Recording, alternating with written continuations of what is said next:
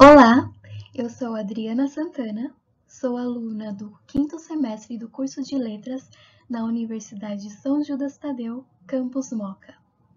A coordenadora deste estágio é a Cíntia Pittini e esta é uma videoaula para o reforço de espanhol, que será gravado em espanhol. O tema da aula é Pronunciación del Español.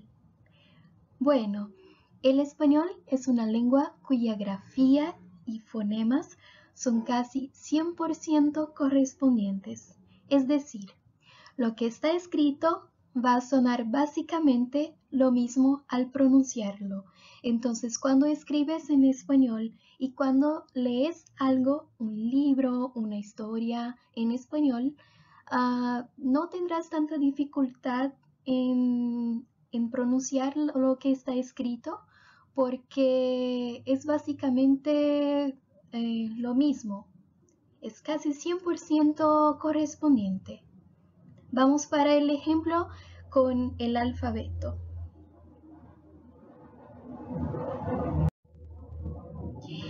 El alfabeto del español es bastante simple. Ah, básicamente, eh, las letras van a sonar muy uh, parecidos a lo que vas a leer. Por ejemplo, A es A, siempre abierto, no tiene sonido nasalado como en portugués, que puede sonar como E. En español no tiene ese sonido de E en algunas palabras, entonces será siempre A, A, A, siempre abierto. También tenemos la B.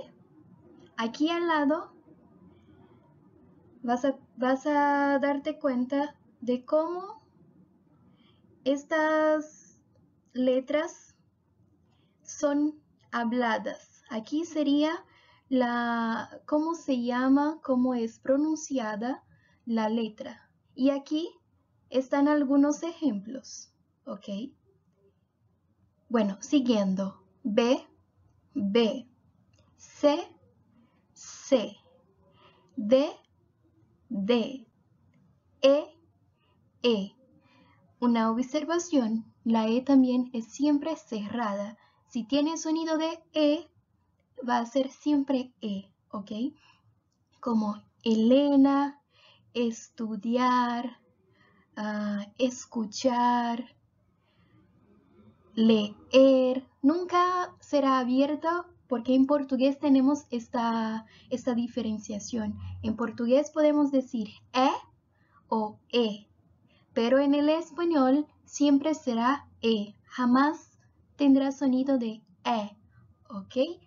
Tome mucho cuidado porque la e siempre es cerrada, o sea, tiene ese sonido de, como si tuviera un, un acento circunflexo del portugués eh, tiene ese sonido como si siempre fuera cerrada, siempre fuera grave, ¿ok? E, E, E, siempre tendrá este sonido. Siguiendo, F, F, nunca F, porque como ya dije, ah, la E siempre es muy grave, entonces la F se llamará F, F, E, F. G, H, diferente del portugués que es haga, en español se llama H. Y J, J, tiene un sonido de la doble R del portugués. J es un sonido más próximo a la garganta, es como gutural. J, J. También tenemos la K, K, K. Y siempre va a sonar así. K, K, K, K, K. Siempre tendrá este sonido. Tendremos, tenemos también la L. Fíjense que en español las letras son femeninas. La A, la B, la C, la D, la E, la F, la G, la H, la I, la J, la K, la L, la M, M, M. la N. N. También tenemos la ñ. En español existe la N. Un sonido muy parecido a la N en el portugués sería de la N, H. Son muy parecidos. Antiguamente en el español arcaico y en el portugués arcaico tenían básicamente el mismo sonido. Pero con el pasar de los años fueron perdiendo esta, esta semejanza, esta, perdón, esta similitud. Y ahora en español se pronuncia ñ, ñ, ñ. También tenemos la O como la vocal E. La O también es grave, tiene un sonido muy grave, muy cerrado. Entonces jamás, jamás, jamás en español vas a decir O, O. Jamás vas a decir O. Siempre será O, O. Siempre muy grave y muy cerrado, ¿ok? También tenemos la P, la Q en español se llama Q. No es que como en portugués, es Q. También tenemos la R. La E-R. Así suena. E-R. ¿Ok? Esta es básicamente muy complicada para los estudiantes de español que hablan portugués, porque en portugués no solemos pronunciar R. Cuando la R va sola en portugués, se pronuncia R con el sonido de la J. ¿Ok? En portugués sería R. Cuando inicia una palabra o cuando es doble R. Pero cuando va, por ejemplo, solita en la palabra, en el medio en, eh, entre, en, el centro de la palabra, en portugués va a sonar como muy simple, como por ejemplo, uh, como podría decir, dizer, dizer. En portugués sería como dizer, dizer. Y también no la pronunciamos casi, pero en español cuando, está, cuando es la R fuerte, cuando va al inicio de una palabra o cuando son doble, doble, más de una juntas como estas dos aquí, tiene un sonido muy fuerte de R, R, ¿ok? Y cuando va solita en el centro de la palabra, en el medio, ah, va sola, tiene básicamente el mismo sonido de la R solita en portugués que sería ra, ra, ra, ra, ¿ok? Como escuchar, escuchar. Y otros ejemplos más que vamos a, ver ah, con, el, con, la clase, que sería, por ejemplo, pera, una fruta. En español vas a decir pera, normal, porque la R está sola en el centro de la palabra. Entonces va a sonar como pera. Pero el nombre de la letra es así. R. Es fuerte, ¿ok? La R. Y siguiendo tenemos la S. S. Y siempre va a sonar así. Jamás va a sonar ¿ok? Siempre será Tenemos también la T, tenemos la U, tenemos la V, tenemos la W o entonces en América Latina es más conocida como doble U, ¿ok? Doble U. Aquí iba el asterisco, pero bueno. Ah, tenemos la X, en portugués sería X, pero en español se llama X, X, X. También tenemos la Y, que en América Latina se llama Y, o entonces Y, solamente Y.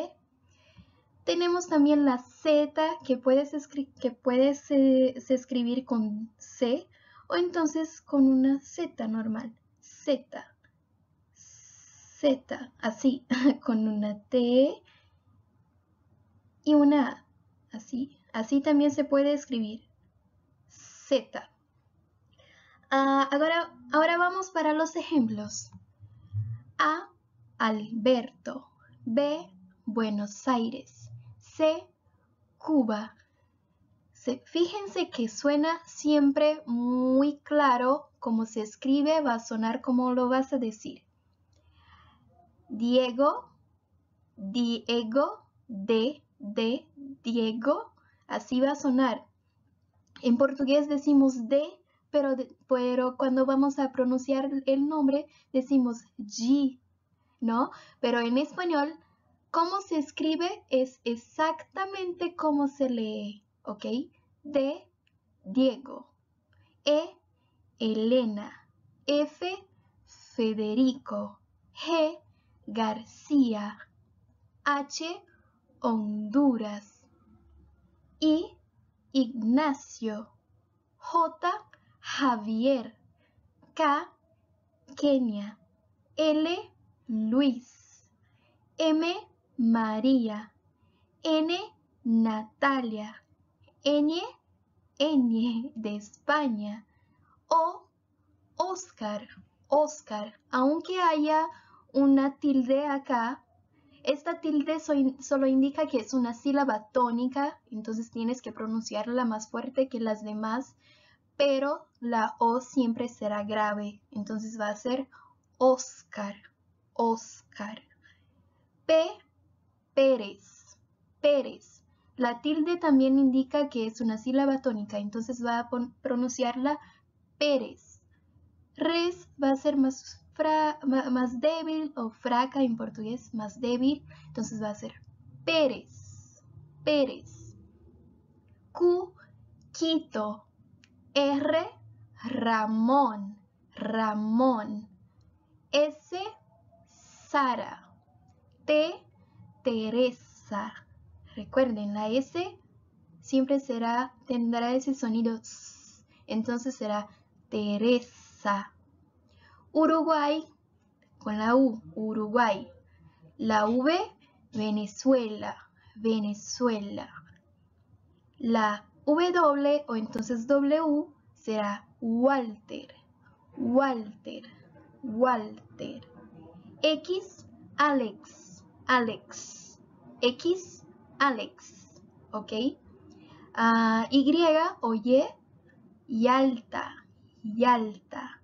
Z, Zaragoza. En España, la Z también tendrá otro sonido dependiendo de cómo se va a escribir, dependiendo de cómo sigue una vocal después. Tendrá también el, sonido de más, más suave, como, como como si estuvieras ah, mordiendo la lengua, ¿ok? Parecido a la TH del inglés, ¿ok? Y el sonido sería básicamente de este fonema. En España va a sonar así. Zaragoza, Zaragoza, ¿ok? Pero ah, lo más básico es aprender cómo se habla en América Latina, que sería solo Z. Zaragoza, ¿ok? Y aquí están las vocales. La A siempre será abierta, A, A, A. La E siempre cerrada, E, E, E, E para todas las palabras. La I siempre como I, I, I, I. La O siempre cerrada, siempre grave en todas las palabras. O, O, O. Y también hay la U que siempre va a sonar como U.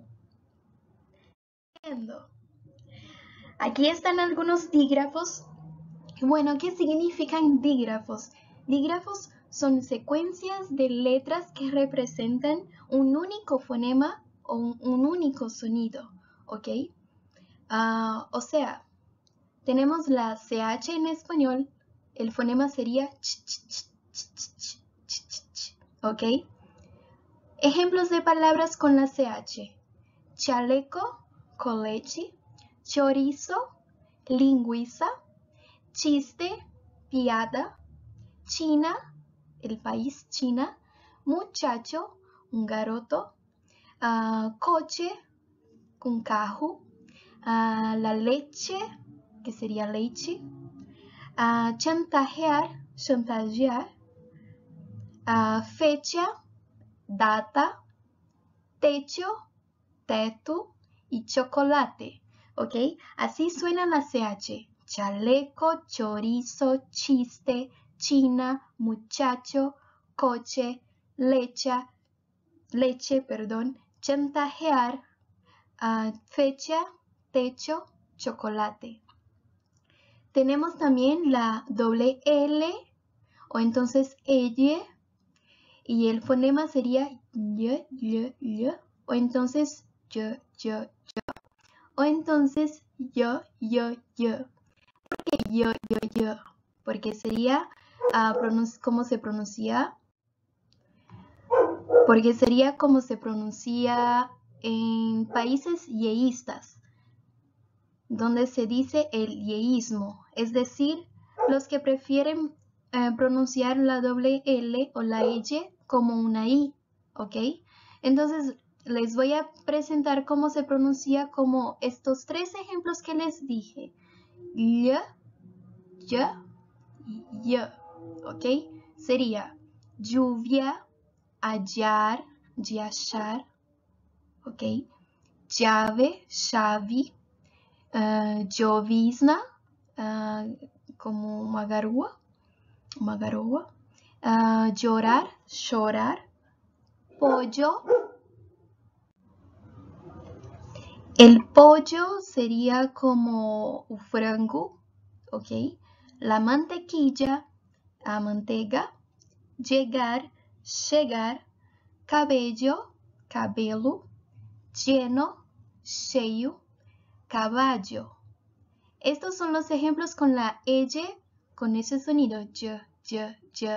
Ahora con el sonido L, sería lluvia, hallar, llave, llovizna, llorar, pollo, uh, mantequilla, llegar, cabello, lleno, caballo. Este, este sonido es más arcaico, no es más usado, es, es usado más cuando se habla el, el, castellano más arcaico, pero hoy día no es tan, no pronunciado está elle, así, elle. Entonces los más conocidos sería elle, elle, que es el primer ejemplo que dije, lluvia, hallar, llave, o entonces con la, como si fuera una i, ¿ok? Voy a dar el ejemplo ahora. Lluvia, hallar, llave, llovizna, llorar, pollo, mantequilla, llegar, cabello, lleno, caballo. ¿Ok? Así sería con la I, con la Y, que es más conocida en los países que hablan así con el yeísmo, que sería más eh, en América Latina es muy común, demasiado común, y más al sur también en Sudamérica, como Chile, Argentina, Bolivia, estos países prefieren pronunciar como si fuera una Y, ¿ok? como lluvia, hallar, llave y siguiendo. Tenemos la gu, gu, gu, que viene después de e o i, ¿ok? Este sería el sonido después de e o i. En este ejemplo, e o i, ¿ok? El fonema sería gu, gu, gu, gu, gu. Y los ejemplos serían guiar, águila, haya, guitarra, violão, guardar, guardar, juguete, um brinquedo, guisante, ensopado, comulgue, uh, com, comum, comungue, né, de comungar, uh, um guiso, que seria ensopado, perdão, uh, guisante seria uma ervilha, guisante. Siguiendo, um pliegue seria uma dobra, ok? Agora, Q, Q, Q, Q, Q, Q, Q, seguido de E y I. El fonema sería K. Vamos, queso, queijo, esquina, esquina, quebradizo, ah, fácil de quebrar, ah, querer, esquimal, que es aquellas, aquellas personas que viven en las zonas árticas, que viven ah, dentro de un iglú, son esas personas, los esquimales. Toque, una queja, queixa, 15, 15, quizás, talvez, uh, quirófano, una sala de operaciones de cirugía, uh, un buque. Bueno, siguiendo, la R, R, doble R, este sería uh, el que viene en las palabras como arroz, tierra, perro, susurrar, carro, guerrilla, guerra, torre, burro, barrer y arrodillar. Arroz, terra, cachorro, sussurrar, carro, uma guerrilha, guerra, torre, burro, varrer y se ajoelhar. Así serían los dígrafos. Estos son los dígrafos, ¿ok? Y así básicamente se pronuncia en español. Si aprendes bien el alfabeto y aprendes bien cómo se pronuncian los dígrafos, ah, básicamente vas a estar pronunciando bien el español porque es un idioma que cuando escribes vas a leer básicamente lo que estás escribiendo. Entonces, uh, la grafía y los fonemas son muy próximos, son muy cercanos y muy fáciles de, entender de cómo se pronuncian. No, son, no es tan complicado como el portugués. Y bueno, muchas gracias, espero que les haya gustado.